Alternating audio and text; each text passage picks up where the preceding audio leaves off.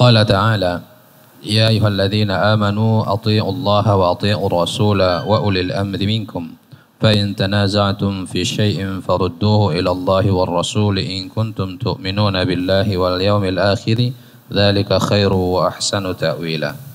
قال الإمام الشاطبي رحمه الله تعالى وهذه صريحة في رفع التنازع أي عن الشريعة فإنه رد المتنازعين إلى الشريعة وليس ذلك إلا ليرتفع الاختلاف ولا يرتفع الاختلاف إلا بالرجوع إلى شيء واحد إذ لو كان فيه ما يقتضي الاختلاف لم يكن في الرجوع إليه رفع التنازع وهذا باطل Masya Allah. Ini perkataan Imam Syatibi yang menjelaskan makna dari firman Allah Subhanahu wa taala. Kata Allah Subhanahu wa taala, "Wahai orang yang beriman, taatlah kalian kepada Allah dan taatlah kepada Rasul dan para pemimpin di antara kalian." Maka jika kalian berselisih pendapat tentang suatu perkara, ya, syai'in umum ya, apa saja, perkara akidah, perkara ibadah, akhlak dan seluruh perkara agama ini, maka kembalikan perselisihan tersebut kepada Allah dan Rasulnya. Dan ini sebagai pertanda keimanan kepada Allah dan yaumil akhir. In kuntum tu'minuna billahi wal yaumil akhir. Dalika khairu wa ahsanu ta'wilah. Dan itulah yang terbaik dan yang mulia akibatnya. Maka di sini diperintahkan kita untuk mengembalikan perkara yang diperselisihkan. Kepada siapa? Kepada Allah. Kepada Rasul. Dan tidak diragukan lagi bahwa kembali kepada Allah ya tentunya kembali pada Al-Qur'an. Kembali kepada Rasul di waktu hal tersebut perselisihan itu terjadi di kalangan para sahabat ya mereka semua kembali kepada Rasul. Ya. Langsung. Kemudian Rasul menunggu turun wahyu, maka dijelaskan hukumnya. Selesai masalah. Tapi sekarang wahyu tidak turun lagi, sudah terputus dan Nabi telah wafat. Lalu ke mana kita kembalikan? Maka semua sepakat ya kaum muslimin sepakat mengembalikan kepada Rasul sejak mengembalikan kepada ya sunnahnya. Ya, karena di sini disebutkan pada Allah itu Al-Qur'an, maka tentu yang kedua mengembalikan kepada sebuah sunnah. Seandainya tidak disebutkan kitab di sini kembalikan kepada Rasul dan itu telah mencakup mengembalikan kepada Al-Qur'an dan pada hadis. Kenapa? Karena yang diwariskan oleh Rasul kepada kita apa? Dua hal. Taraktu fikum amraini. Ya kan? Lan tadillu ma intamassaktum bihima. Kitabullah wa sunnati. Dua perkara yang aku wariskan pada kalian. Aku tinggalkan pada kalian. Dan kalian tidak akan tersesat selama-lamanya ketika bila bila berpegang teguh pada kedua perkara tersebut. Al-Quran dan Sunnah.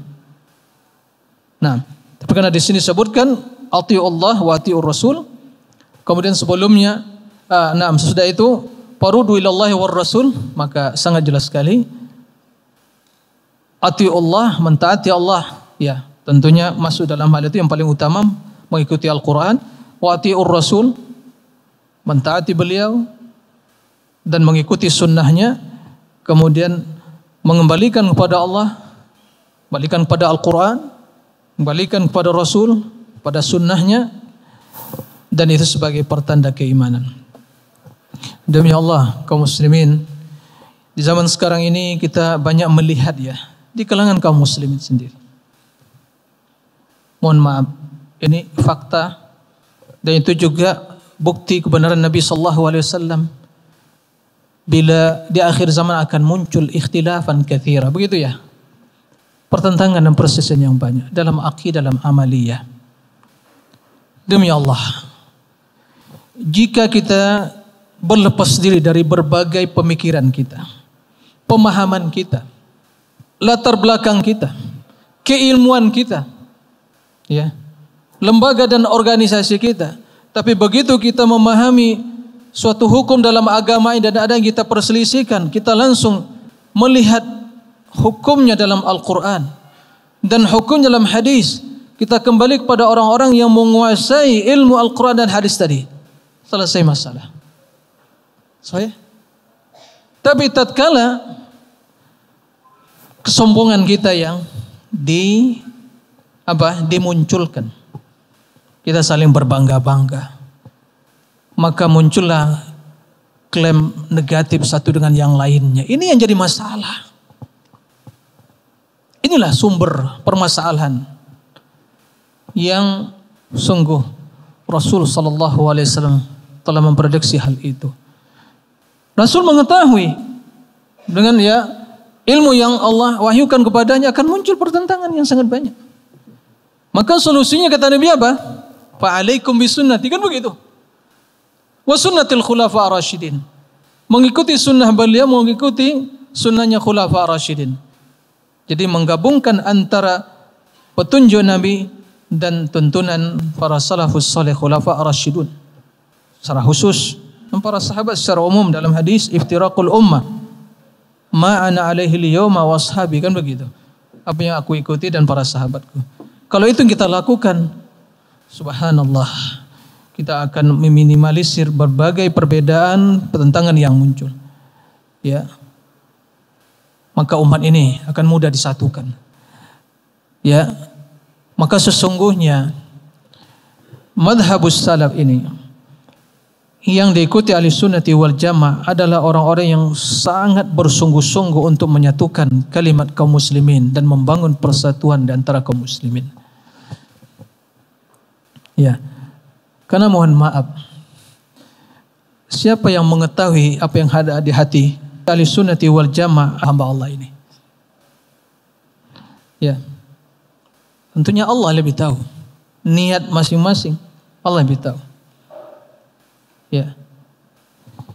Maka Allah mengetahui apa yang akan memperbaiki hati mereka yang itu akan berimbas kepada apa? Kebaikan dalam perilaku dan sikap mereka.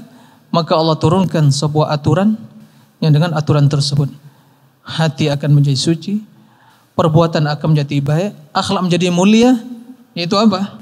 Agama ini. Tapi bila masing-masing kita berdalil ini warisan dari para guru-guru kami. Ini dosen saya begini mengatakan. Prof saya begini mengatakan. Ustaz saya begini mengatakan. Oh saya pengikut Imam Syafi'i. Kamu Imam Maliki. Nah itu yang ditonjolkan. Ya. Oh, lembaga saya tidak begitu. Ya, pasti apa yang kita harapkan mari kita bersatu, mari kaum muslimin tinggalkan sulit untuk direalisasikan kenapa? Karena masing-masing kita tidak lagi kembali kepada apa yang diperintahkan oleh Allah. Ya. Tapi kalau kita kembalikan parudduhu ilallahi war rasul, kembalikan kepada Allah Rasulnya mutlak kebenarannya. Saya memiliki pemahaman, saya Yunus memiliki pemahaman, Prof memiliki pemahaman, ya. Antum memiliki pemahaman, semua kita yang ada di sini pasti memiliki ya akal yang insya Allah sehat, selamat. Tapi dalam akal kita, pikiran kita bermacam-macam, betul enggak? Sama enggak cara berpikirnya? Sama enggak pemahaman? Enggak sama. Bayangkan berapa kita yang hadir ini di masjid ini. Ratusan. Di luar kita kaum muslimin, ribuan, jutaan, miliaran kan begitu. Mungkin bisa disamakan?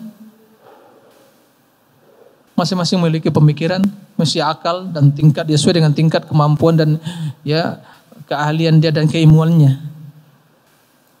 Maka bagaimana kami bisa disatukan? Tapi kalau kembalikan kepada Allah dan Rasulnya udah semua harus tunduk Sami'na wa ata'na. Nah, tapi di sini juga dibutuhkan apa? Ketulusan di dalam mencari kebenaran. Ini yang perlu. Nah, nah ini yang harus kita semangat persatuan ini yang harus kita sosialisasikan ke masyarakat. Ya, Taib. Betul, kita semua sepakat untuk bersatu. Tapi bagaimana membangun kesatuan? Ini yang harus juga disampaikan. Nah, jadi sebagaimana yang disampaikan tadi, kita mempelajari manhaj ahli sunnah, manhaj salafus salih bagaimana kita menjadi orang-orang yang insya Allah ikut ya, andil uh, memiliki andil yang besar di dalam membangun ya peradaban yang benar, membangun persatuan yang benar, memperbaiki pola pikir yang ya menyimpang dalam memahami agama dan seterusnya. Demi kebaikan kita secara khusus kaum muslimin di Nusantara ini dan tentunya kaum muslimin ya secara umum di dunia ini. Nah, taib.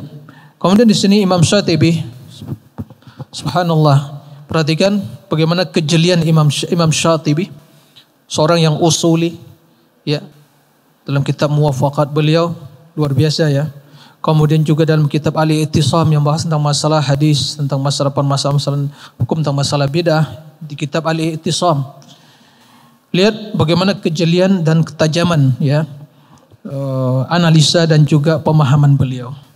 Wahadihi sorihatun fi raf'in tanazu' an syariah. Ayat ini sangat jelas dan nyata sekali ya dalam menghilangkan tanazu' perbedaan, kontradiksi ya, pertentangan dari agama ini. Fa innahu raddal mutanazin ila syariah. Karena ayat ini Allah menjelaskan mengembalikan ya menuntun kita semua untuk kembali orang-orang dua orang yang bertentangan atau yang berselisih pendapat kepada syariat pada agama. Walaysa dzalika illa liyartafi al-ikhtilaf. Yang demikian itu ya agar apa? Agar ikhtilaf itu hilang, bisa diatasi. Ya, maka kembalikan kepada agama agar perbedaan tersebut bisa diselesaikan, dihilangkan.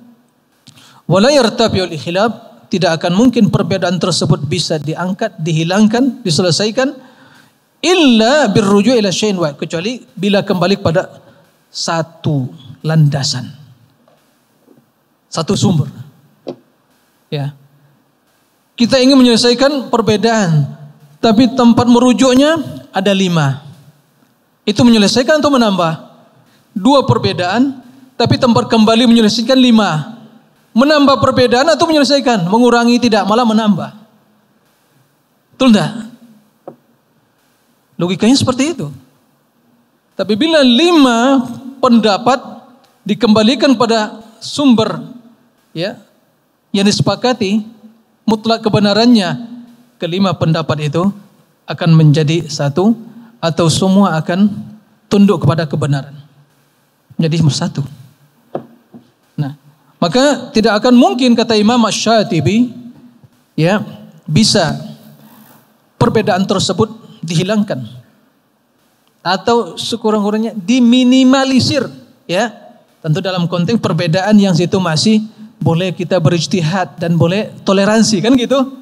Ya dalam perkara khilafiyah.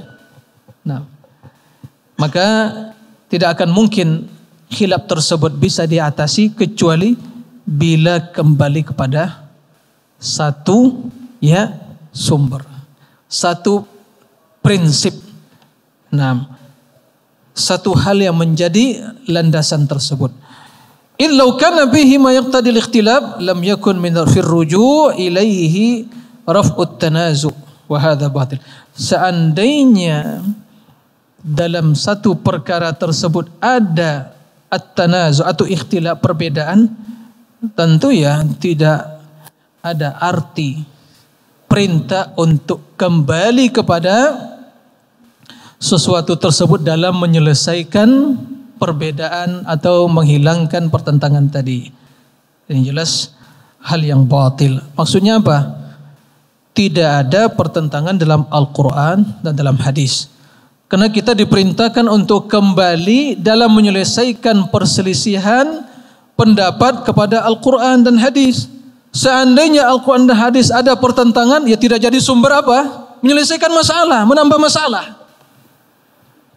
Ya. Maka hanya satu yang bisa menjelaskan itu kembalikan kepada Allah kepada wahyu. Selesai masalah.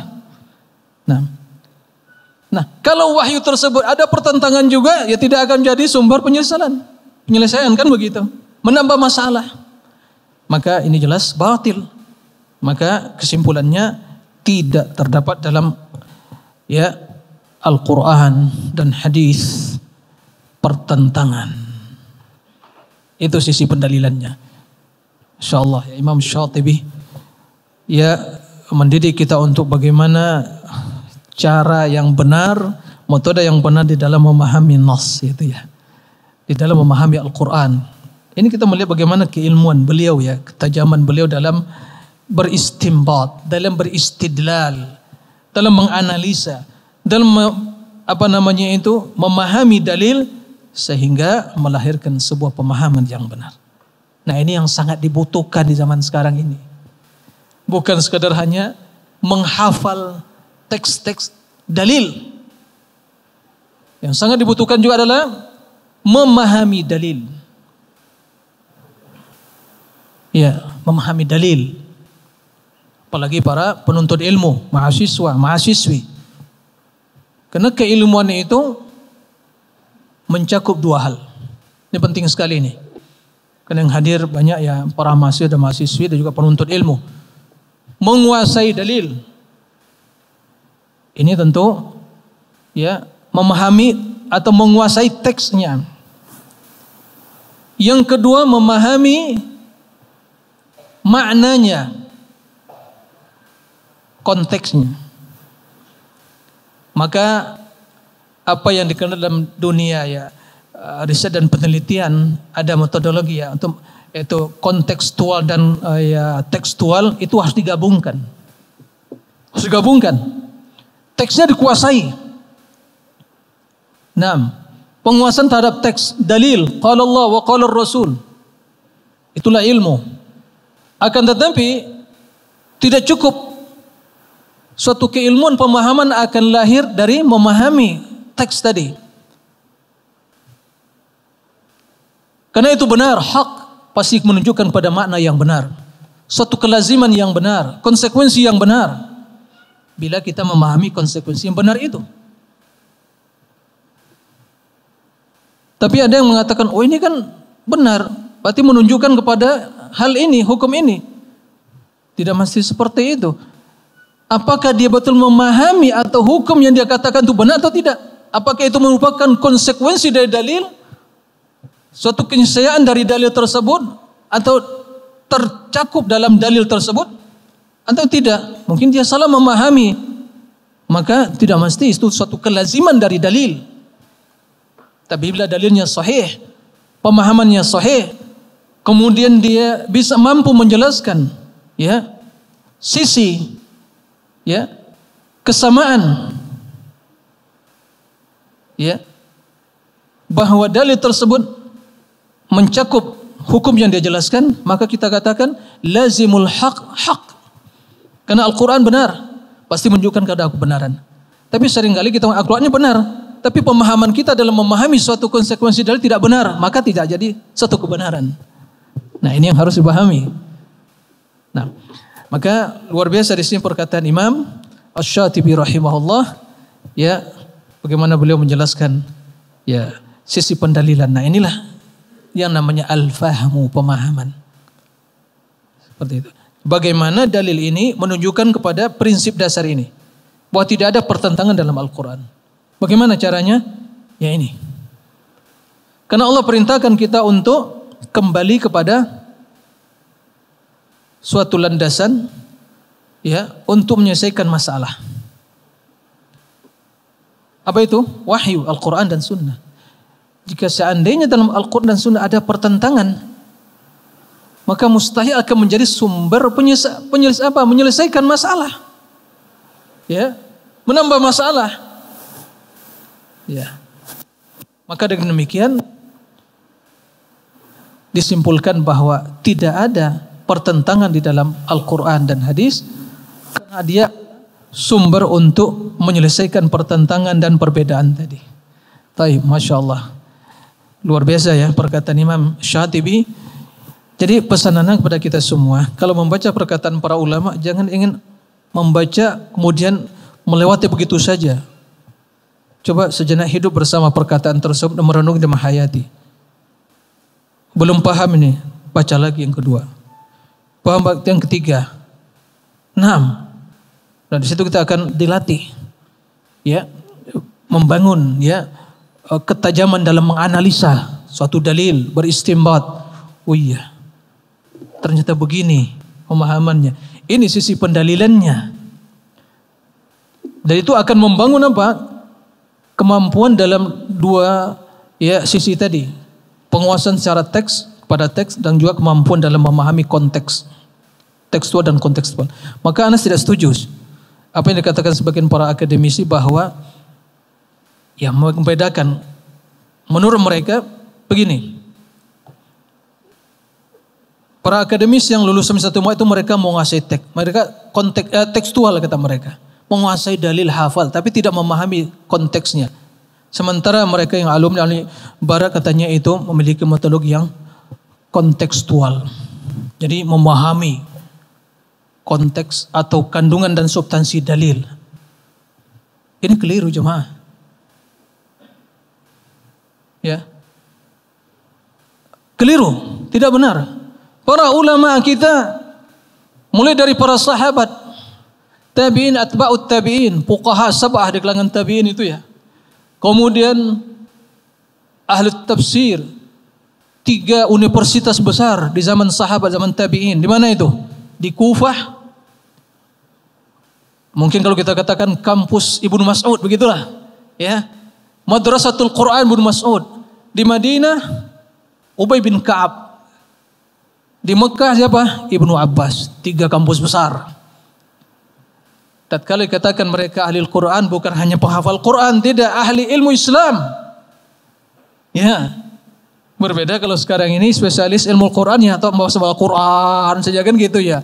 Kiraat saya tidak, ini ilmu Islam. Tiga kampus besar.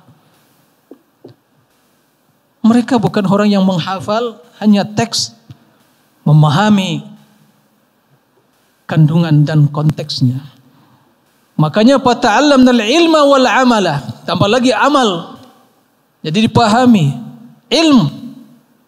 Mencakup ilmu tentang teksnya dan ilmu tentang konteksnya. Imam yang empat itu, madhab yang empat. Siapa? Abu Hanifah. Malik Syafi'i dan Ahmad. Orang yang menguasai dua hal itu. Siapa lagi? Imam Bukhari lihat bagaimana ingin mengetahui bagaimana keahlian dan kemampuan Imam Bukhari dalam memahami teks. Lihat terjemah abwab kitab Sahih Bukhari. Itulah fikih beliau. Ya, terkadang tidak paham apa maksud Imam Bukhari ini. Bab ini hadisnya kok secara zohirnya kok tidak nyambung gitu. Tidak connect. Nah, jangan disalahkan Imam Syafi'i. Kritik diri kita ini yang bodoh tidak sampai pada ilmu Imam, Imam Bukhari. Makanya para ulama menulis ya kan penjelasan tentang bab-bab Sahih Bukhari. Termasuk dalam hal itu ya tentu pensyarah yang masyhur yaitu Fathul Bari Ibnu Hajar. Itu jelaskan maksudnya dan bagaimana korelasi antara bab ini dengan apa? Dengan hadis yang diriwayatkan oleh beliau. Dan kita bingung. Di situ kita mengerti bagaimana kejelian dan juga ya ya analisa beliau yang begitu tajam. Karena orang-orang yang menguasai Al-Quran dan hadis, orang yang berlian pikirannya, tajam analisanya. Karena itu nur cahaya. Lihat Imam Syafi'i baca kitab Risalah. Kok begini bahasa Imam Syafi'i? Disalahkan Imam Syafi'i. Padahal bahasa Arab kita dan nausa Arabnya yang apa?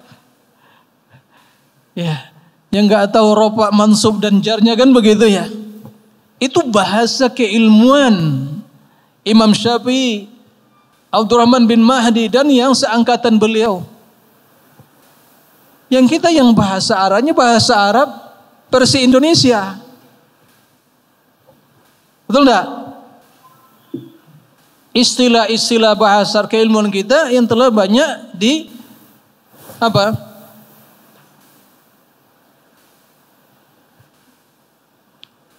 Dicampuri oleh istilah-istilah kaum filsafat dan ahlul kalam. Nah itu digunakan memahami istilah ilmu Islam ya keliru. Masing-masing ilmu itu memiliki ya disiplin ilmu memiliki istilah ya. Nah ini yang harus dipahami.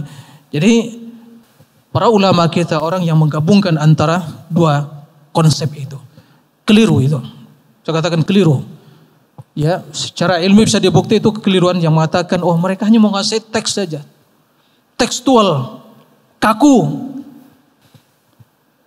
Oh, katakan mereka yang menurut mereka kalau yang alumni barat yang suci Islam di sana mereka mampu menguasai atau ahlul kalam dan filsafat begitu ya menguasai ya konteksnya mampu untuk memahami ya konteksnya dengan benar. Keliru jemaah. Ya keliru. Baca itu karya tulis para ulama kita. Ya. Baca. Tidak benar itu. Itu hal ya sebuah doktrin yang harus dikritisi. Tidak benar. Saya katakan salah. Mohon maaf, saya katakan salah. Bagaimana para ulama kita akan melahirkan memahami sebuah hukum dari nas-nas Al-Quran dan kalau mereka tidak memahami dalil, bagaimana akan lahir namanya ijtihad kalau mereka tidak mau memiliki kemampuan untuk memahami konteks, ma'ani, ya. Apa gunanya mereka menulis kitab usul? Dan mereka menulis ilmu alat untuk memahami dalil? Sehingga lahirlah hukum ya dan bagi mereka yang mujtahid harus menguasai ya ilmu tersebut. Jadi ini anak saya katakan yang itu pembodohan bagi di dunia akademik sebenarnya nggak benar itu. Kita katakan nggak benar. Itu suatu kezoliman bagi para ulama kita. Nah, nah kezoliman yang benar kita ya, bahkan mereka yang menguasai Sebelum orang-orang barat dalam dunia penelitian secara mungkin masalah metodologi mereka lebih mengutamakan metodologi seperti itu.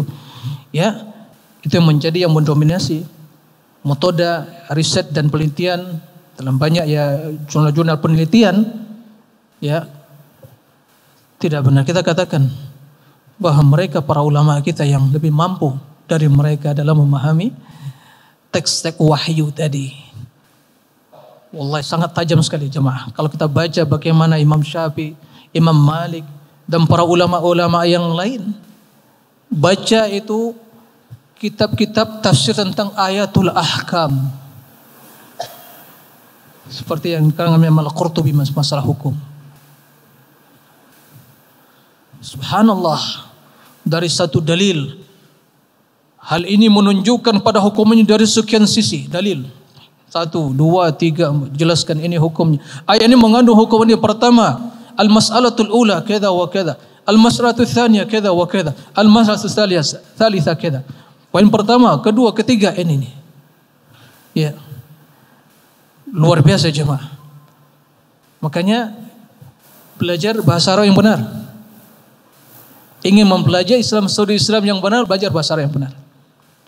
Ya, semangat dan sudah seharusnya apalagi di kampus-kampus Islam ya pemahaman terhadap Islam agar ya benar untuk memahami bahasa Arab dengan benar. Jangan baca terjemahan. Ya. Apalagi mungkin ya pemahaman Islam yang diungkap dalam bahasa mungkin ya yang sekarang yang menguasai mendominasi kampus-kampus yaitu bahasa Inggris misalnya. Karena jelas ingin mengungkapkan suatu istilah agama lalu dengan istilah bahasa yang bukan bahasanya pasti akan terjadi kedangkalan dalam memahami istilah tadi. Karena bahasa Arab itu sangat luas. Makanya akan disebutkan di sini penyebab kekeliruan atau salah persepsi dalam memahami teks sehingga sebagian mengatakan ini kok ta'arud ada pertentangan. Ya. Disebutkan di sini al-jahlu bi lughati bi sa'ati lisanil Arab. Kejahilan terhadap bahasa Arab. Nah, itu nanti akan disebutkan. Nah, oleh karena itu kembali kita sampaikan, mari dia semangat lagi belajar. Pertajam lagi ya analisa kita dengan membaca. Itu akan muncul secara bertahap. Seiring dengan perjalanan umur terus mengkaji, membahas, membaca insya Allah terus. Ketajaman menganalisa, memahami dalil, ya disertai dengan penguasaan terhadap uh, kaidah-kaidah pendalilan tadi usul fik kan begitu maka insya Allah ya keduanya akan bisa digabungkan antara teks dan juga konteks maka man, yang benar agama itu yaitu tekstual dan kontekstual ya enam barakallahu fikum Taib lanjut ya enam ثانيا من السنة النبوية ما رواه عمرو بن شعيب عن أبيه عن جده قال جلست أنا وأخي مجلسا ما أحب أن لي به حمر النعم أقبلت أنا وأخي وإذا مشيخة من صحابة رسول الله صلى الله عليه وسلم جلوس عند باب من أبوابه فكرهنا أن نفرق بينهم فجلسنا حجرة إذ ذكروا آية من القرآن فتماروا فيها حتى ارتفعت أصواتهم. فخرج رسول الله صلى الله عليه وسلم مغضبا قد احمر وجهه. يرميهم بالتراب ويقول مهلا يا قوم بهذا أهلكت الأمم من قبلكم باختلافهم على أنبيائهم وضربهم الكتب بعضها ببعض. إن القرآن لم ينزل يكذب, يكذب بعضه بعضا بل يصدق بعضه بعضا. فما عرفتم منه فاعملوا به وما جهلتم منه فردوه إلى عالمه. ووجه الدلالة أنه صلى الله عليه وسلم غضب وتغير لما فعله الصحابة من معارضة الأدلة بعضها لبعض. فبين لهم أن ذلك سبيل الهلاك وأن الكتاب يصدق بعضه بعضا وهكذا ينبغي أن يكون فهمه والاستدلال به على هذا الوجه. نعم. Ini dalil dari sunnah ya. Banyak dalil dari sunnah tapi ini pengarang menyebutkan satu dalil saja. Ya bahwa di zaman Nabi SAW uh, terjadi sebuah kasus bahwa tatkala ya uh, sahabat-sahabat yang menjadi tokoh ya tokoh yaitu orang-orang yang mungkin dituakan dalam ilmu ya duduk di suatu majelis. Nah, kemudian sini diceritakan oleh Amr bin Shu'aib an Nabi an jaddihi. Nah, sahabat tersebut mendengar bahwa mereka ya terjadi ya perdebatan di antara mereka ya seolah-olah mereka mempertentangkan antara satu ayat dengan ayat yang lain. Maka tatkala itu tentunya dalam sebuah perdebatan diskusi pasti akan ya muncul terkadang seorang mengaraskan suara mengangkat suara kan begitu. Nah, sehingga irtafat aswatu. Idzakaru ayatan minal Qur'an fatamaru fiha hatta irtafat aswatu. Mereka menyebutkan salah satu Al-Qur'an kemudian mereka memperdebatkan sehingga ya suara mereka terdengar secara ya keras. Nah,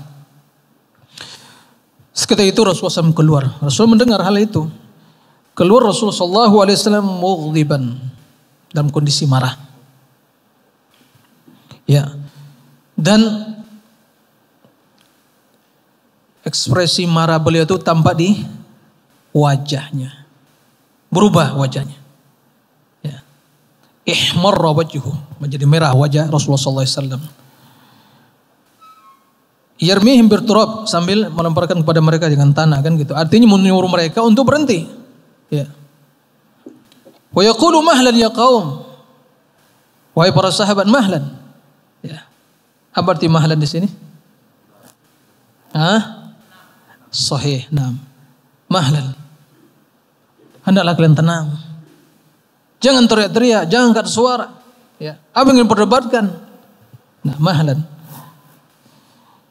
bihada uhlikal umam dengan cara seperti ini umat-umat sebelum kalian itu dibinasakan. Binasa mereka. Terjadi pertentangan, khilaf di antara mereka. Ya. Min qablikum bi ikhtilafi ala anbiya'ihim dan perbedaan dan ikhtilaf mereka terhadap nabi-nabinya. Datang dari nabi wahyu dari Allah lalu mereka perdebatkan. Itu maksudnya.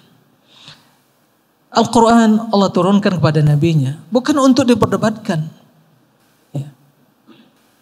Untuk diamalkan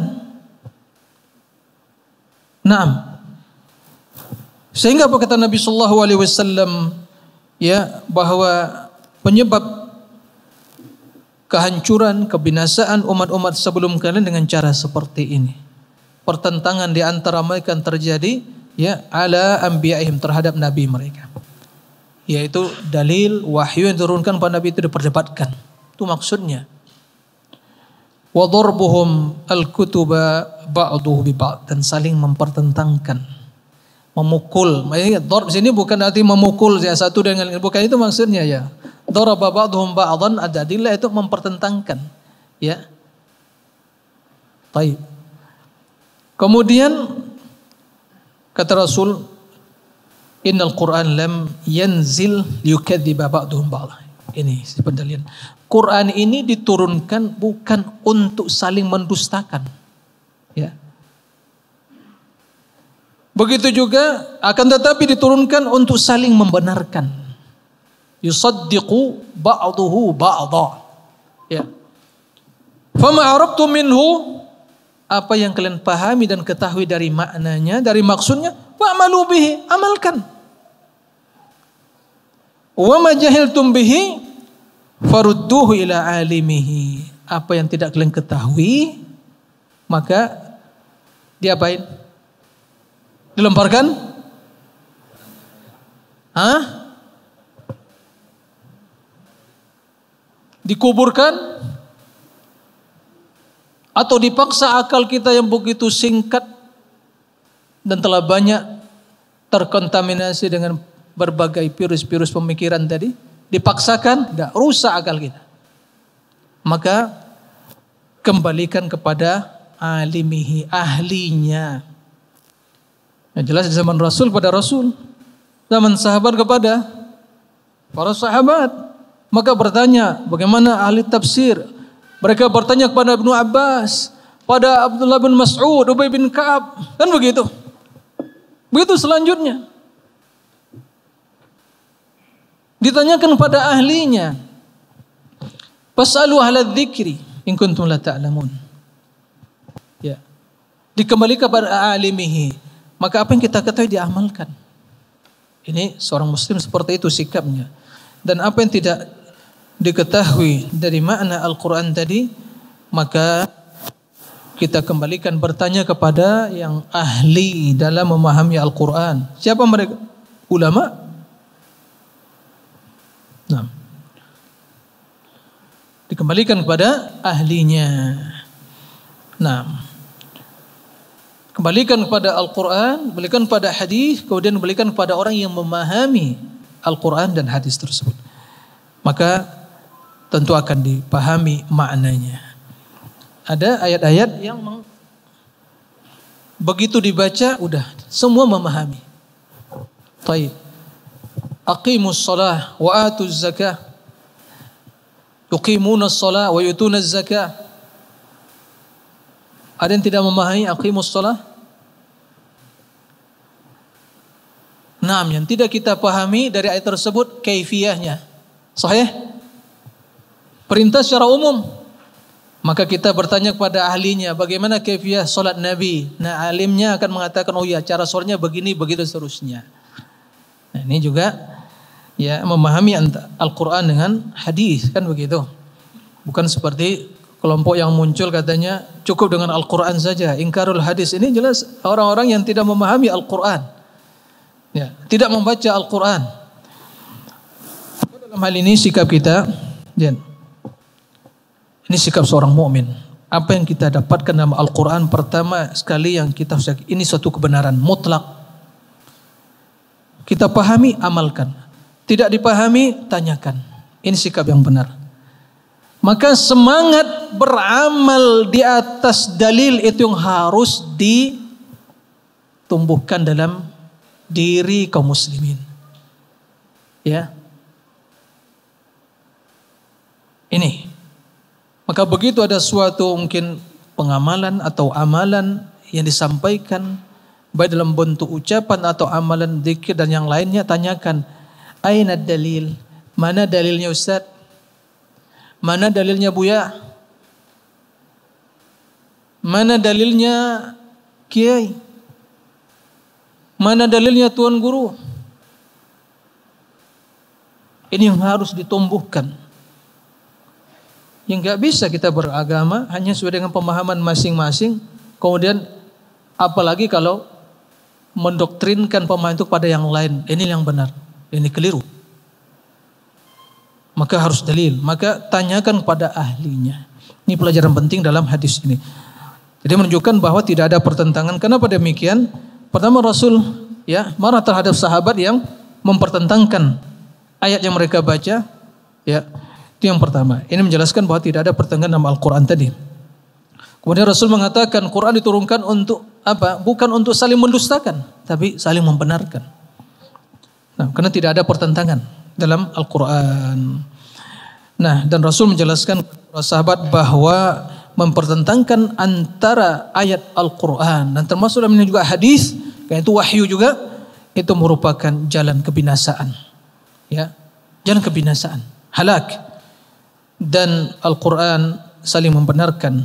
Ya, kemudian beginilah seharusnya yang harus menjadi ya pemahaman kita dan juga sisi pendalilan ya terhadap dalil atau Al-Qur'an yang kita baca. Nah, ini sisi pendalilan bahwa tidak ada pertentangan di dalam ya eh, dalil-dalil Al-Qur'an dan hadis. Nah, kemudian dalil secara ijma. Nah. Thalithan minal ijma'i. اتفقت الأمة على عدم جواز التعارض بين الأدلة القطعية. طيب.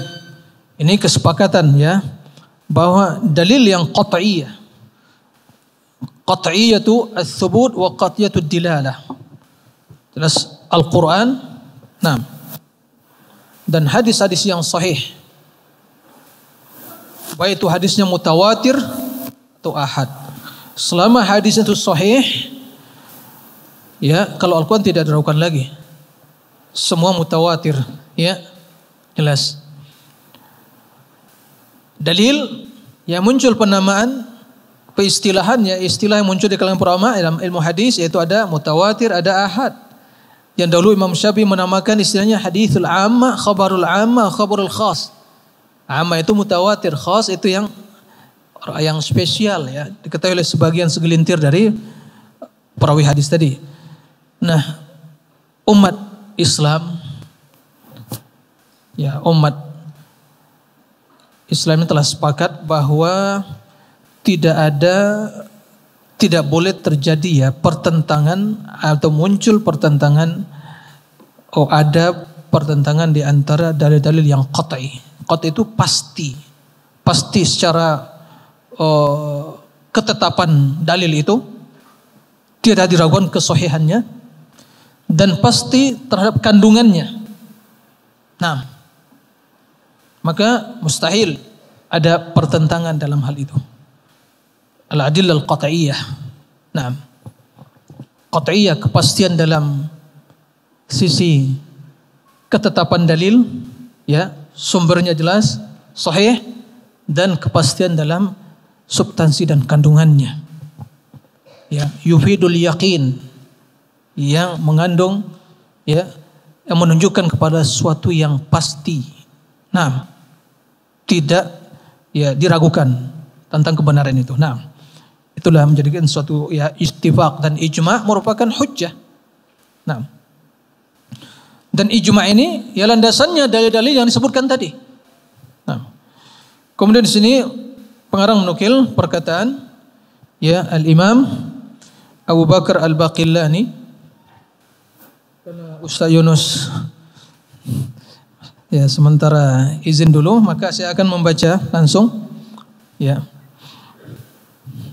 Dan Ana berharap antum bisa memahaminya. Nah.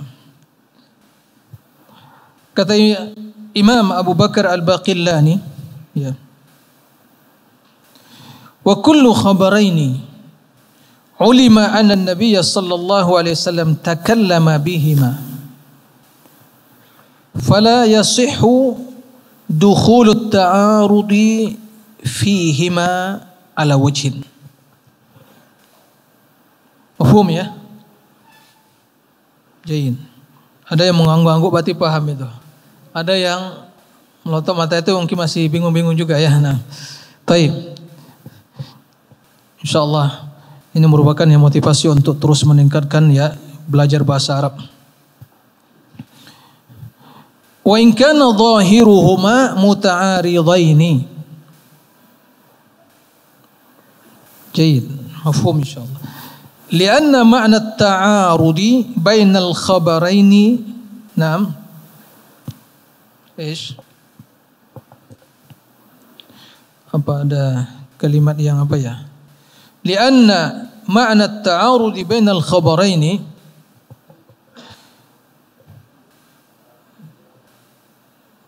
antum apa tulis itu? Hah? Lah sebentar. Al-khabarain ini benar ya? dan nukilannya sebentar. Karena ada sedikit yang perlu di kita kasih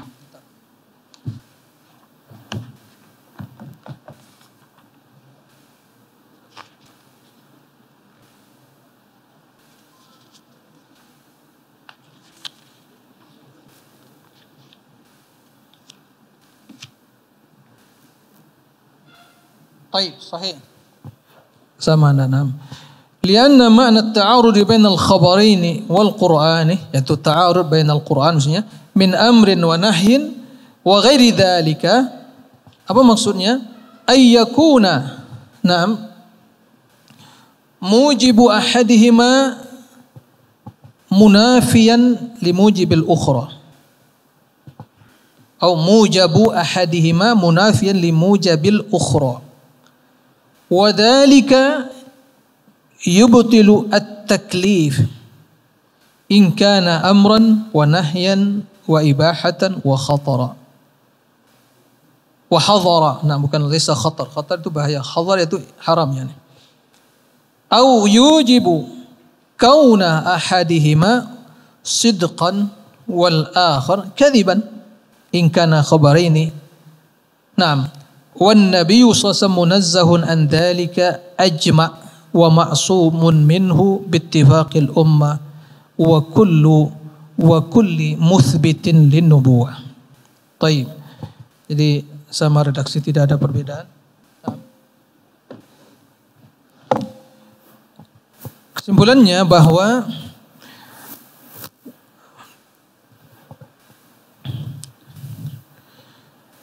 kullu khabaraini uliman yasam takalama setiap ya ada dua nos dua hadis ya yang telah diyakini diketahui secara pasti bahwa Nabi telah menyampaikannya. Berarti kesimpulannya apa? Dua hadis yang sahih yang telah diketahui Nabi telah mengatakannya. Ulima. Berarti diketahui kesahihannya. Ya. Tayyib. Fala yasihu dukhul ta'aruf ala wajhin. Maka tidak benar sama sekali bisa dimasuki apa? Masuk ke dalamnya atau ada di dalamnya ta'arud sama sekali dari sisi mana pun. Nah. Karena itu wahyu. Hadis duanya sahih. Kemudian terdapat pertentangan ikhtilaf ma yumkin hada. Ya, karena kita meyakini Nabi berbicara menyampaikan wahyu, bukan hawa nafsu. Ya. Wa ma yantiqu 'anil hawa in huwa illa wahyu. Jelas. Wahyu. Dan mustahil terdapat di dalam ya wahyu tersebut pertentangan. Wa in kana dhahiru ma muta'aridaini kendati secara zahir zahirnya ya itu tampaknya apa? Ada pertentangan. Kan zohirnya, tapi hakikatnya tidak. Nah. Dan juga zohirnya itu, itu dalam pemahaman, penilaian sebagian orang. Zohir menurut kita bertentangan, tapi zohir menurut yang tidak bertentangan, dia langsung paham maknanya. Betul enggak? Kalau kita ini yang ilmunya sangat dangkal sekali, nah begitu zo jangan semua zohir kita katakan bertentangan. Tapi ulama-ulama yang memahami ilmu Al-Quran dan Sunnah dan ahli dalam memahami qala Allah wa qala Rasul, ya Jangankan yang zohirnya, yang pun ya tersembunyi, tidak paham kita mengatakan tidak ada pertentangan, yakin mereka. Karena mereka memahami maksudnya. Ya, jadi istilah zohir pun ya itu relatif juga menurut kita, tapi menurut mereka enggak. Ini menurutmu gimana? Ya zohirnya pertentangan ini. Enggak ya, enggak ada zohirnya pertentangan. Antum tanyakan kepada yang lain ya ahli enggak mana ada pertentangan? Enggak. Antum aja tidak memahami ya. Udah selesai masalah. Memang berarti kita tidak memahami kedangkalan ilmu kita. Lalu kita memperpersepsi ini zohirnya bertentangan. Naam. Fadullah yu'ti mayyasha. Ya. Makanya nanti contoh gitu ya. Datang sebagian tabi'in kepada Ibnu Abbas. Dia membaca Al-Quran kok zohirnya bertentangan. Ibnu Abbas enggak. Tidak ada pertentangan, dijelaskan langsung, ya kan? Karena Rasul mengatakan Allahumma faqihu fid din wa alimhu ta'wil. Subhanallah. Dan itu terus diasah terus. Ya. Karena selalu kita menjadikan Al-Quran teman dalam hidup. Sahabat setia kita. Sahabat setia akan memberikan rahasia-rahasia yang istimewa yang tidak diberikan kepada sahabat yang ketemu sekali dua kali. Betul enggak? Kalau membaca Al-Qurannya sekali dua kali, hanya sekali dalam setahun waktu tarawih mendengar Al-Quran, mungkinkah dia akan memberikan menyingkap kepada kita rahasia-rahasia yang terdapat di dalamnya? Antum dah, teman, ketemunya sekali setahun dengan teman sahabat-sahabat dekat antum. Mungkinkah dia akan yang sekali setahun antum sampaikan rahasia hidup antum kepada dia? Curhat gitu enggak mungkin. Ini bahaya. Tapi orang yang sudah menjadi bagian atau selalu setiap hari ketemu dekat dan untuk mengetahui kejujurannya dan kebenarannya. Apa kejujuran dan juga masya Allah lo, uh, ketulusan persahabatannya. Antum sering curhat betul enggak ini rahasia-rahasia yang tidak antum sampaikan kepada yang lain itu akan didengar oleh sahabat ini